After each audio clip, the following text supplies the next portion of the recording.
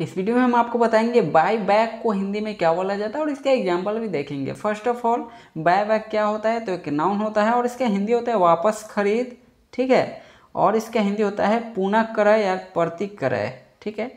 तो एग्ज़ाम्पल देखिएगा यहाँ पे क्लियर होगा आपको। The company has decided to buy back its shares from the market ठीक है? तो इसका हिंदी हुआ, कंपनी ने बाज़ार से अपने शेयर पुनः क्रय करने का फैसला किया है। तो आई होप आपको ये क्लियर हो गया होगा।